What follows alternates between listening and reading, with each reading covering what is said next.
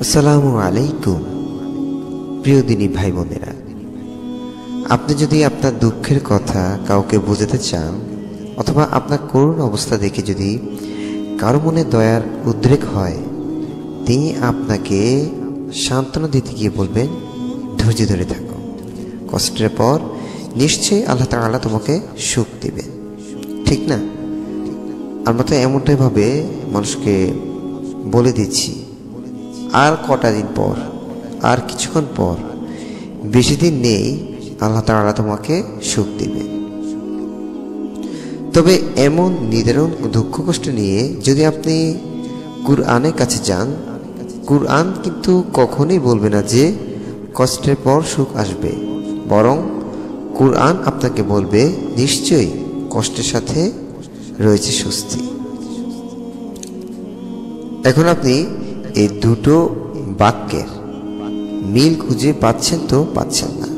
দেখুন, প্রথমে আপনি বলছেন যে কষ্টের পর নিশ্চয়ই সুখ রয়েছে। আর আল্লাহ তালা কোরআনের মাধ্যমে কি বলছেন?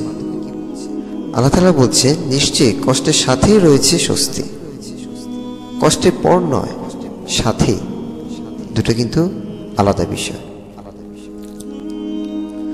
কষ্টের সাথে স্বস্তি বা সুখ কীভাবে থাকতে পারে?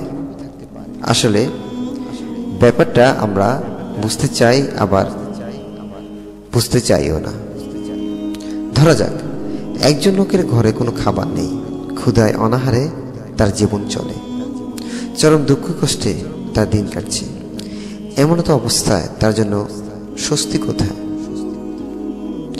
মজার ব্যাপার হচ্ছে, স্বস্তি বা সুখ যাই বলি না কেন, সেটাকে আপনি সংজ্ঞায়িত করে বসি যে টাকা পয়সা ধন সম্পদ আর সচ্ছলতা দিয়ে।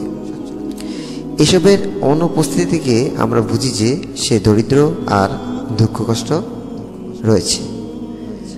সুখকে যদি আপনি এভাবে বুঝতে যান, তাহলে মাঝখান থেকে আপনার সত্যিকার অর্থে যে জিনিসটা আপনি পাশ কেটে যাচ্ছেন সেটা হচ্ছে অন্তরের প্রশান্তি।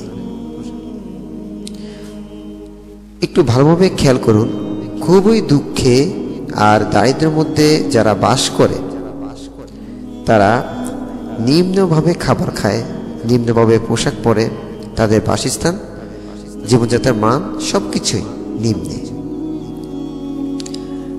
সে ব্যক্তিও কিন্তু প্রশান্তিতে থাকতে পারে। আবার দুনিয়ার সেরা ধনী ব্যক্তি হয়েও যার নাম, খ্যাতি, ধন সম্পদ সব কিছুই উন্নতর দিকে সব কিছু তার রয়েছে, সে কিন্তু সর্বদা বিষণ্ন হয়ে যেতে পারে বা হচ্ছে। যে ব্যক্তি ঘরে খাবারের সংকট, সে যদি তার সর্বোচ্চটা দিয়ে তালাশ করে এবং তাতে সে ব্যর্থ হয় পরিবারের সকলকে নিয়ে সে নিম্নমানের যে খাবার, যে পোশাক, যে বাসস্থান, এসব যদি এই অবস্থায় থাকে, তাতেও কিন্তু তার কোনো আফসোস থাকে না। সে জানে এতটুকুই তার রিজিক এবং এটাই তার তাকদির। সে এটাকেই সন্তুষ্টি চিত্তে মেনে নেয়। তার সামনে যদি হারামের অনেক ব্যবস্থা থাকে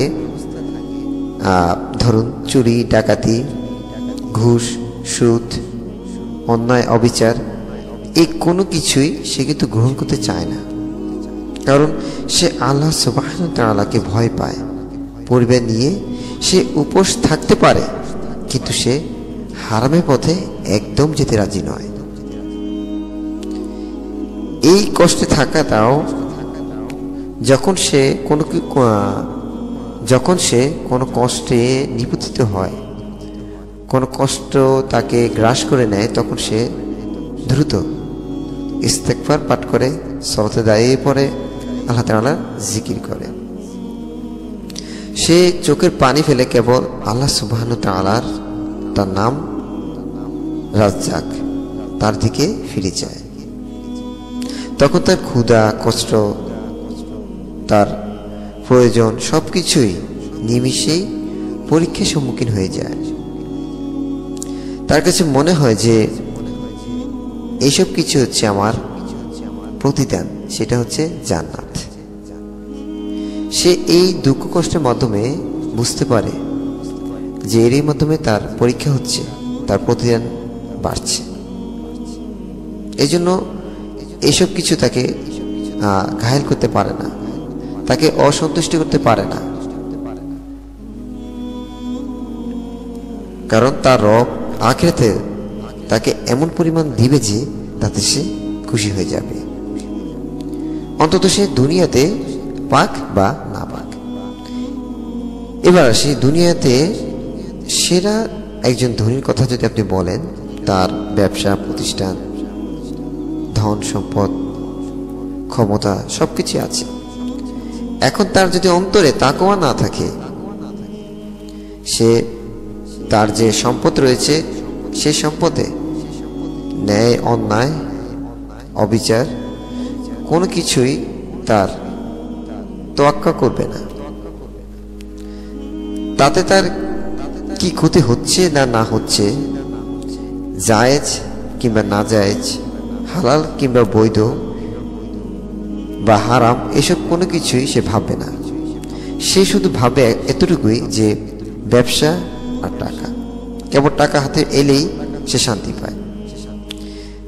তার অন্তরে যদি তাওয়াক্কুল তথা আল্লাহর উপর ভরসা না থাকে, তার তাকদিরকে সে তাকদির হিসেবে মেনে নিতে চাইবে না। এই ক্ষতিকে সে আল্লাহর পক্ষ থেকে পরীক্ষা কিংবা বিনিময় বা আখেরাতে এর বিনিময়ে উত্তম প্রতিদান দান করছে, সে এটা মানতে চাইবে না। যখন তার লস হচ্ছে, সে গালি দিয়ে বসবে। তার নিজের তাকদিরকে, ব্যবসাকে, প্রকৃতিকে। সে চাইবে না যে আল্লাহ তালা তাকে আরও দিক। আল্লাহ তালার কাছে মুখ ফিরিয়ে সে দোয়া করবে না। কিন্তু ইসলাম আখেরাতের পূর্ণ ধারণা দিচ্ছে।